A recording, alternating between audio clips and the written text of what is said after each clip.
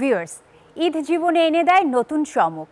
It brings a lot certain happiness and build in new relationship but friends এবার ঈদ মানে আনন্দের ঝর্ণা বইছে ঠিকই, তবুও অজানা আশঙ্কায় কাটছে উদাসী দিনরাত।